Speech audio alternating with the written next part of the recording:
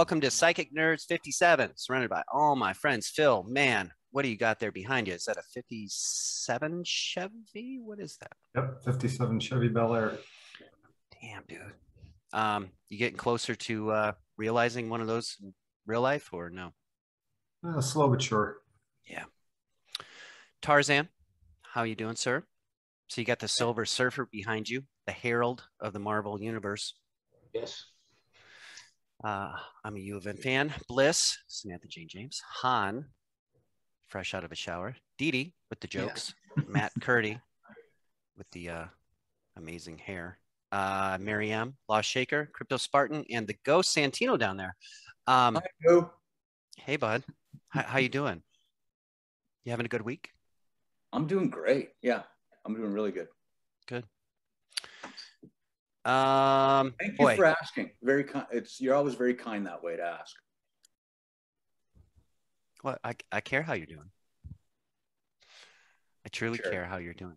I know. Um, I like how you say it softly.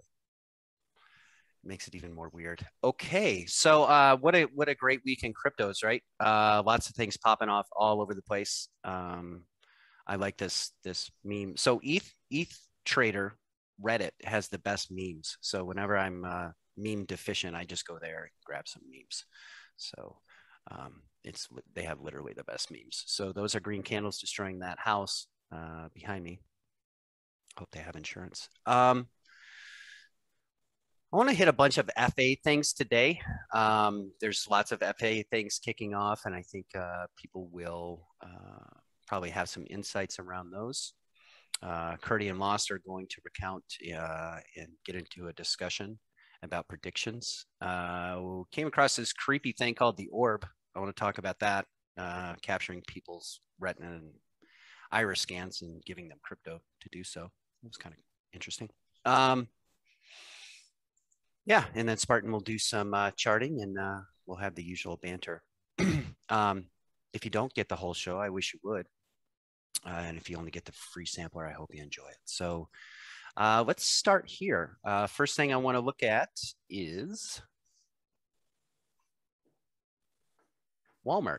Walmart has quietly begun hosting Bitcoin ATMs. Retail Giant is offering Bitcoin through 200 of its Coinstar kiosks and a tie-up with crypto ATM firm CoinMe. Um, I saw some similar articles like this um, about 18 months ago, but this is, I think it may be unique uh, because it's specifically targeting Walmart. Um, what are you guys' thoughts around this? Pretty cool, huh? once again Yeah. proof that it's just moving forward it's not going backwards and i like how um, bradley over on the discord said this week that he said his bar was it bradley who said his bartender indicator had gone off? He has a brother yeah. who's a bartender at a high scale bar. And um his he asked kept asking his brother every six months or so um you know if people are talking about bitcoin yet cryptocurrencies. And he Mhm. said that now they're talking about it and everyone's talking about bitcoin to a hundred thousand so like they're smelling like the forty thousand dollar gain right and Yeah. um so his brother finally called him and said what should i be buying how can i get it It's amazing. I remember in the last cycle, I was in a restaurant and it was the peak. Um, and I was having some lunch. I think I just got done with a, a workout and having some lunch. And uh, two young kids were just beside themselves, like basically screaming in the middle of this, you know, little restaurant. Um, how happy they were about Bitcoin and just going crazy. And I remember thinking to myself, "Oh no, I think this is probably the top in this cycle," because they were so excited. You know Um, what? You know what's yeah. weird though is that um, I was just reading this this morning. The Mhm. analytics uh, show that retail is still forty percent below where it was at the May peak of this year. Yeah. uh, in investment. So the movement we've been seeing has been largely institutional. Um, and I've noticed even myself, anecdotally, uh, just the work that I do in crypto, retail's not here. They're still missing an action, um, which is extremely bullish. It, it means we have a lot of runway left to go. It means retail doesn't trust this uh, this market. Um, they're afraid of getting crushed again. And that's good news um, because it means that the smart money is getting in positioned and the dumb money's not here yet. Yeah. That's, that's really good news, actually. the Google, uh, the kind of search data supports that as well. The metadata, the search data is showing that it well as well. That uh, you know people just are not out there hitting the searches on uh, Bitcoin, Ethereum, cryptocurrency wallets. Um, kind of interesting. However, I have reached out to a few people like me that have been doing this a minute, and uh, they are reporting the same thing as I've been reporting to you guys that I've got a lot of old old contacts circling back now. People that uh, came in just in that last cycle, 2017, and uh, they're starting to circle back pretty hard, wanting to uh, it sounds like some of them haven't done their homework or they've have uh, some technical issues around this being there that being over here and not not really being practiced in it enough to uh, uh understand maybe what they've done and now it seems important because we're now getting these these big rises. So that's good. At least those people are circling back i guess. The worst part about it is that people are just riding on the word. It's like they're reading about it on the news. So you you might get you know 10 people approaching you but out of those 10 there really is is only maybe one or two who are willing to do the work. I mean they'll think about it as all kind but if they can get you to do it oh yeah right but right. i just see i just pull my medium card and i just tell them how much i make an hour right and then i'm like you know what i don't actually have anything open for right. the next little while right? right but if you do want some help like this is what i make an hour i'm going to suggest that maybe you look into all this yourself and you know if you need some help if you want to send me a text message here and there it's not a problem but i mean i'm not opening exchanges for them i'm not oh, opening no. wallets i'm not oh, testing no. seed words i'm not holding any custody i'm not pressing any buttons zero nothing and i and i uh, my hats off to everybody who has helped out elderly family members and has actually taken custody of that money for that elderly family member because they know that they're going to be hooped if they don't put their money into crypto. So my hat's off to you. You've done a very good thing. And, uh, you know, so I don't want to discourage people from looking after the individuals in our society who are really just not able to do this. It's just that there's so many people who are, and it's just easier if they can just shove it off onto you. And then if that exchange closes with their money on it, you know they're going to look at you and say, well, you made $3 million on Cardano. You know, the least you can do is give me that 80,000 you lost, you lost on that exchange, right? Right. You know that, you know, that's going to come out of their mouth.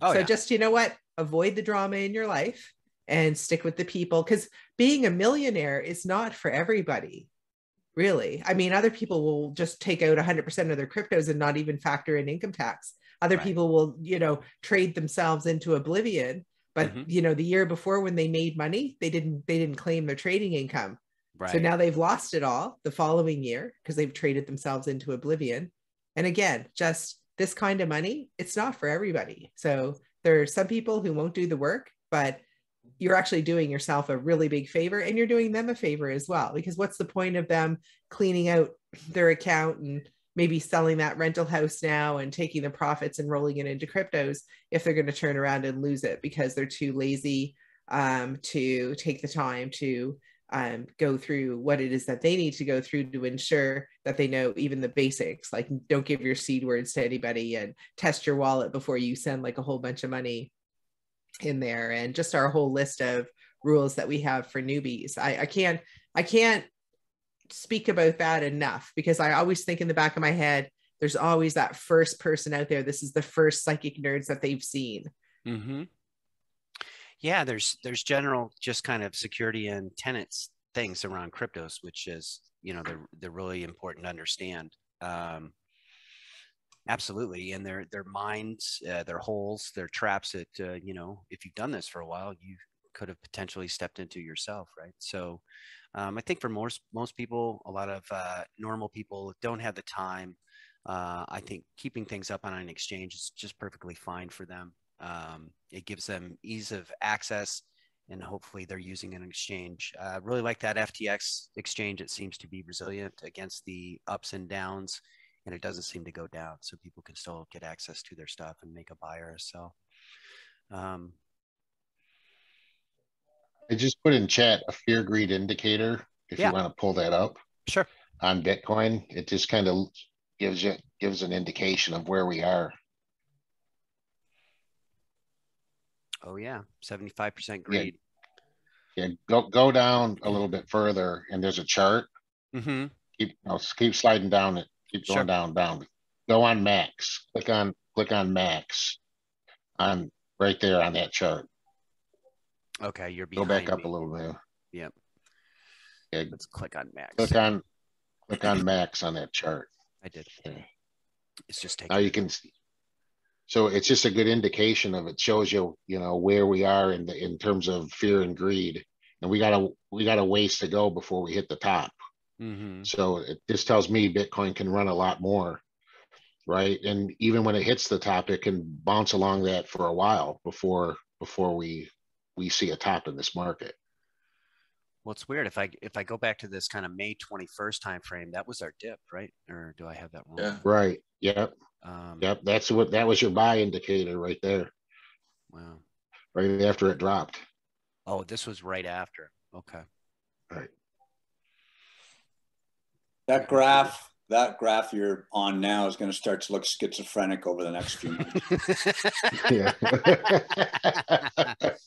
It's true. It's true. You just You're can't right. compare what's coming. People are like talking about history, Right. and I'm like, but you've never seen the largest transfer of wealth in the history of mankind, though. That's why nothing's going to behave the same as what Mhm. people, nothing's going to happen the way people think it's going to happen. Like, people are like, no, gold can't go up at the same time the American dollar goes up. And, it, you know, and, and if the stock market's correct due to their illiquidity because people are starting to realize that the books that lots of them are cooking the books and but then that money starts like flowing into crypto. So i'm really i can see how it would happen now because before when the markets corrected um, we always got hit with cryptos because a lot of people who played the stock market also were involved in cryptocurrency. So it just made sense right? But it was like the ultimate buy-in time. You know if the market had a huge fall like that you knew it was going to be coming back.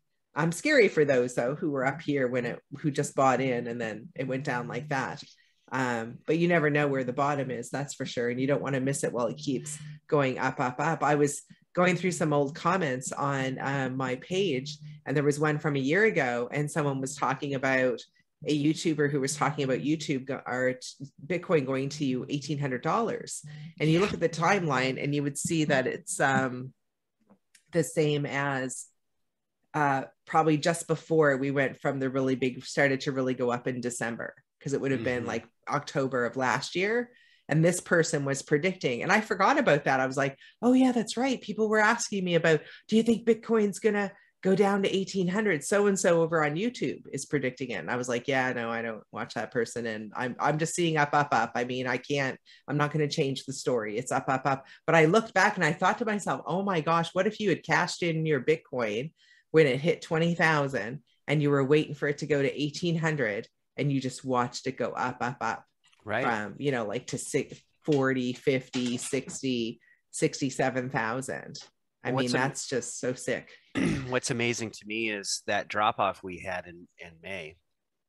There were so many talking heads out there saying it was going to go to 19, it was going to go to 15, it was going to go to nine, it was going to go to seven. Um, and you know, anybody listening to these people, man, I, I hope they stop listening. But this is a reoccurring thing for you and I, right? We're we're always amazed that people will go back for more. They'll go back for more, more bad information, right? Yeah. Historical references are going to fail. Um, and we're seeing that breakdown. So I agree with what Sam is saying. Um, and one of the reasons I know that is because I, I'm getting some very strange cycle intersects in my work. In other words, cycles smashing into each other over the coming months that normally don't cross, uh, and they are crossing. So that's why you're going to see like what Sam is seeing intuitively, like uh, metals and the US dollar going up at the same time. That's true. I'm seeing those cycles both happening, intersecting each other, paralleling each other. Doesn't happen normally, but it will happen. Uh, so, and you're going to see vicious swings in many of the markets, not just crypto. Uh, so I was only half kidding saying schizophrenic. So one day you could have a greed and fear indicator that moves 70 points, you know, in a 24 hour period. So uh, this is why historical references are going to fail and why a lot of people are going to be wiped out in the greatest bull market that the world has ever seen. You're going to have a lot of people wiped out people don't know, up on the psychic nerds, we have two sections where um, for the advanced and then the the the basic members there, where you can ask a question, where you can pose a question. So let's get into it because it's kind of the topic we're covering. Tom 19 wanted to know why is it going to be different this time, or do we believe it will be different this time? Um, and the question is, uh, would it be possible to have a more of a discussion as to why this time it's going to be different? Um, the crypto market will not necessarily undergo its usual 80 or 90% pullback. Um, so let me throw that out to the group. Why is it different this time? If you feel, Institu- feel institutional money, right? right. So, Institutions are coming. So in 2017, in 2017, there were no institutional investors. All we had was a white paper with some good ideas. So so when the market moved, it was moving based on all speculation. It was like it was like we everyone was buying the sizzle, but the but the of the sizzle from the steak, but there wasn't even a cow born yet to make the steak. Right. right. No steak. Today today we can look around and we see a bunch of little cows that are now growing in the in the steers and, and we we're actually getting some steaks off of, off of these these animals so when institutional money comes, we're seeing the build out. That that's what's going to make things different this time around. We didn't have the big players in the game. It was only the the new in, investors, the speculators, the early adopters were here. Now the big money is coming. So my theory is get in front of the big money, sit and wait, and collect collect your winnings right? And the only reason we can get in front of them is because they have to wait for regulation. They, they can't buy in until they have clarity and regulation. The small guy can get in front because we don't have to wait for we can take the risk but we but we can now look around and see what's being adopted so we don't have to guess anymore with white papers you can see where the build out is right and that that's right. that's the difference yeah, I, I, think it is different this time. So that's my two cents. no, I'm with you. So let me just kind of piggyback on that. And I'll kind of just pull up a couple mm-hmm. articles mm-hmm. because I think now we're just starting to tickle, um, just starting to grasp kind of some of the utility of some of these things, right? When you yeah, have, I put a good article in chat too relating to this.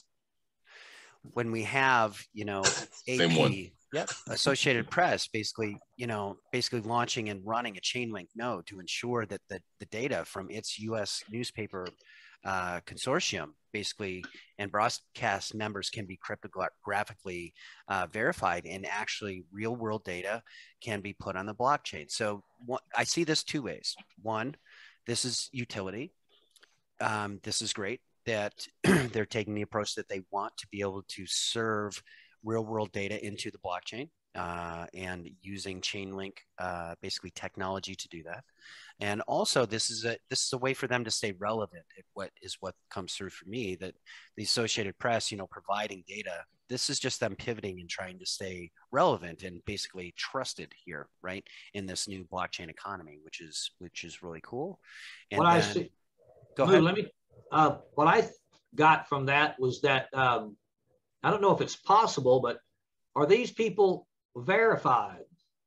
You know, that put these things up. This would stop, possibly stop these fake press releases that get out there that, you know, give a, you know, false sense of something, you know, and they've, we've had a bunch of them, you know, over the time. Well, they just can't take them down because what right. they do in order after they've been caught, because Chainlink isn't going to, and the blockchain's not going to police that.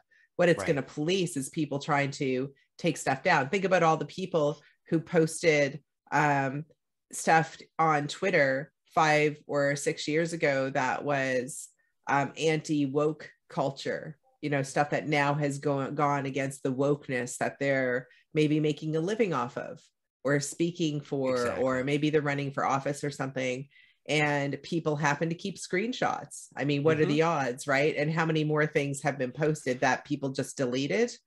Um, so that's what I like about blockchain, and a really big part of uh, of what I like is the the trustless part, where you don't have to. It's you don't have to trust somebody, for example, to exchange Bitcoin, and also on the blockchain, it's not changeable. Like nobody can go back and sort of delete that article. Oh, I didn't write that, you know. Right.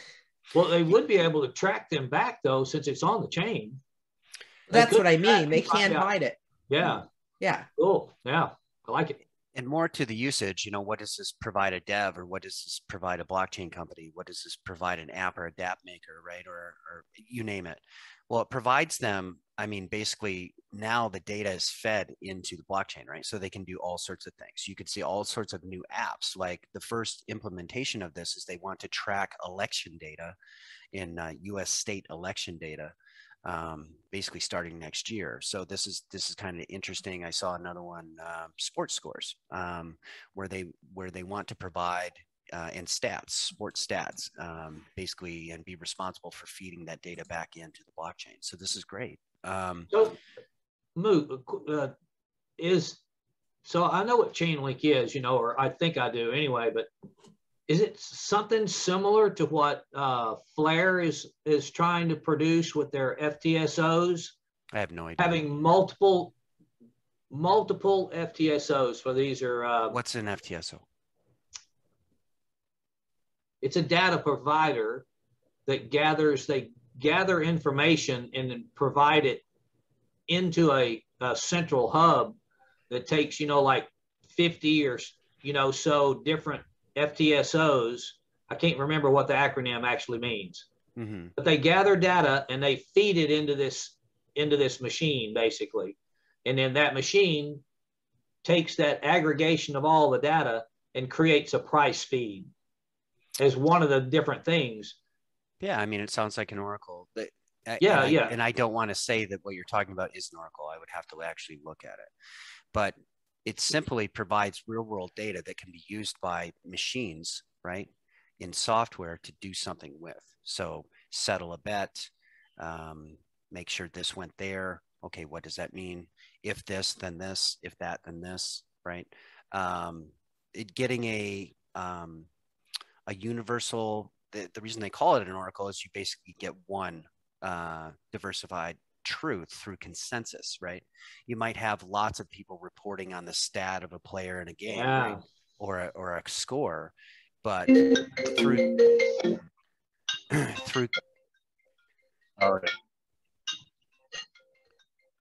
But through consensus, basically, there's there's one truth, right? That that comes P- through. Um, PJ but, just uh, put it up there. It's a time series article Okay uh, but there's multiple flavors of oracles as well. So um, machine-led um, analytics, machine-led analytics is another thing you're talking about. Move, yep, yep. big deal. I'm uh, I'm in a small project now that's beginning to move based on that's what they're doing. They're a smaller Oracle, smaller cap project that deals with machine-led analytics.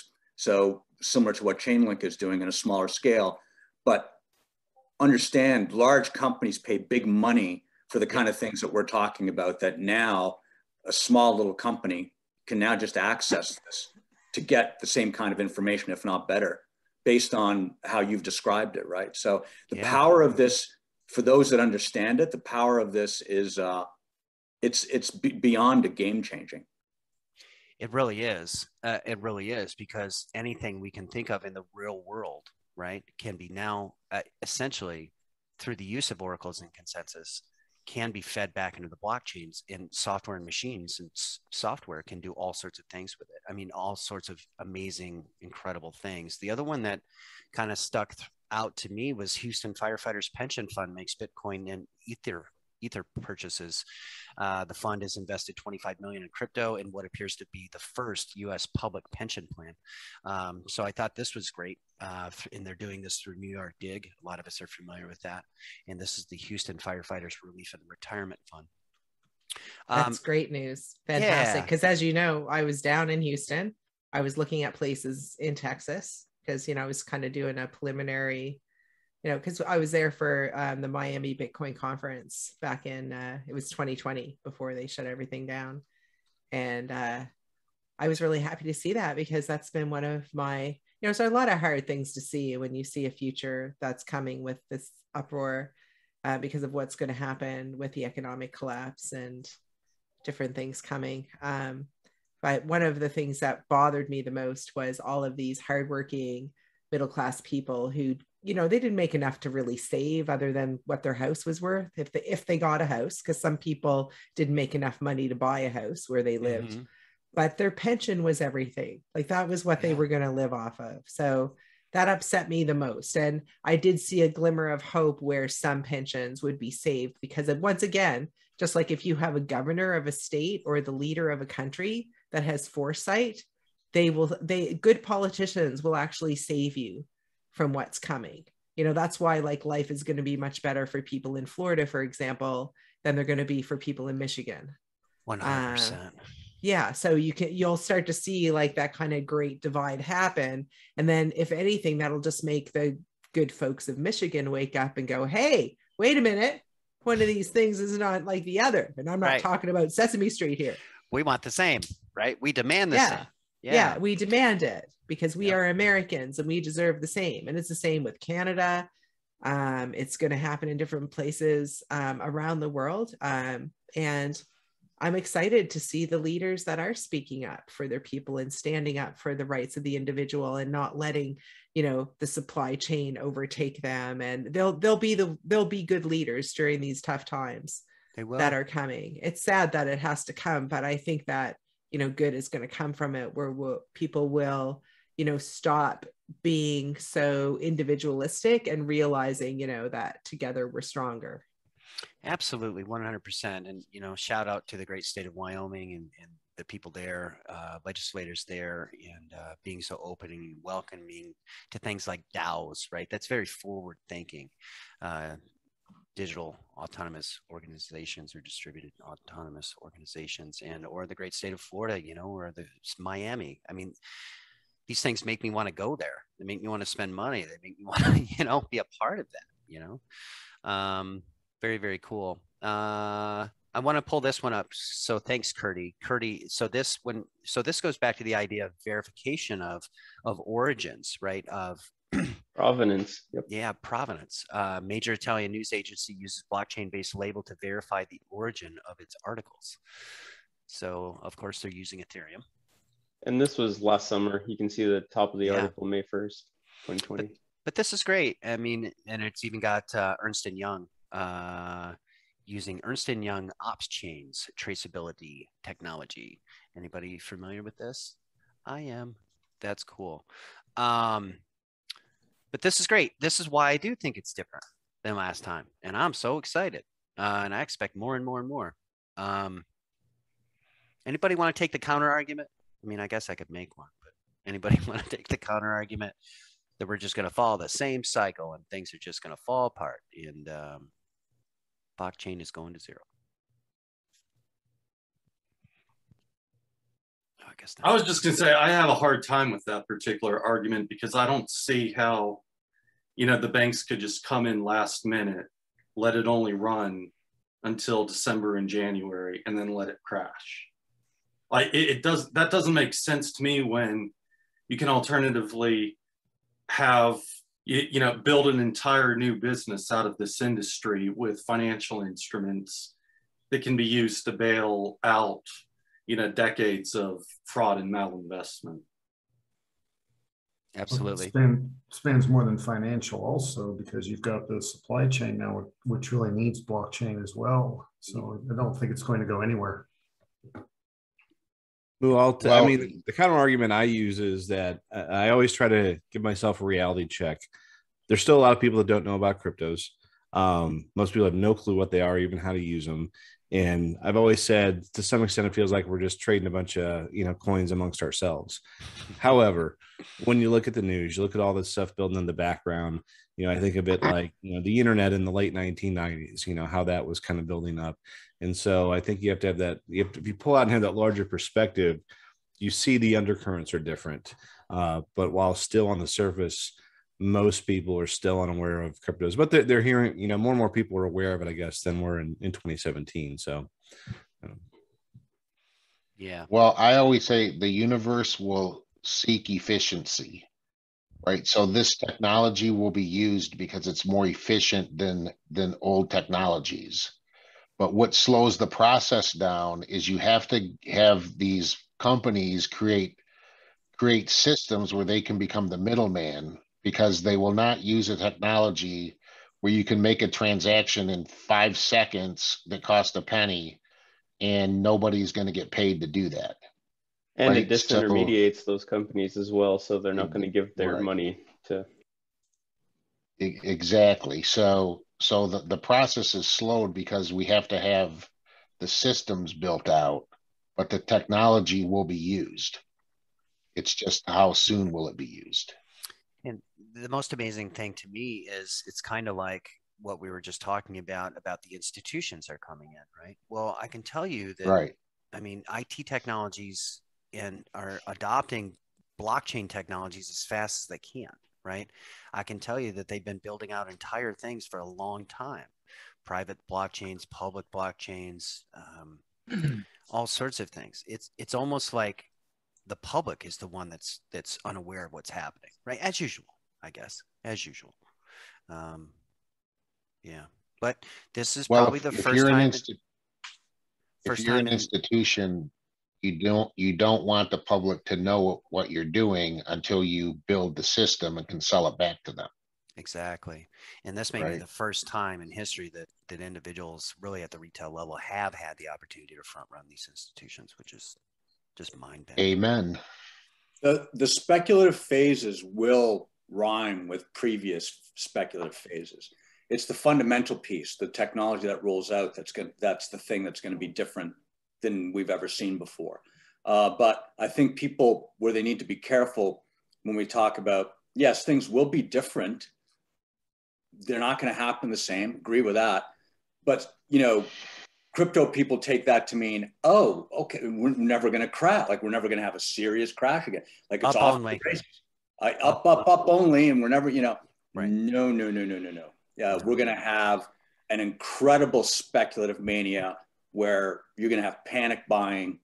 Um, that's ahead of us, but make no mistake, that will end in a major crash. So, um, you know, for uh, I don't think people should delude themselves into thinking that, uh, you know, we're just never going to come down again. And if we do, they'll just be shallow, you know, and then it's all, um, you're still going to have coins that get completely wiped out. You're going to have projects that get completely wiped Oh, out. yeah.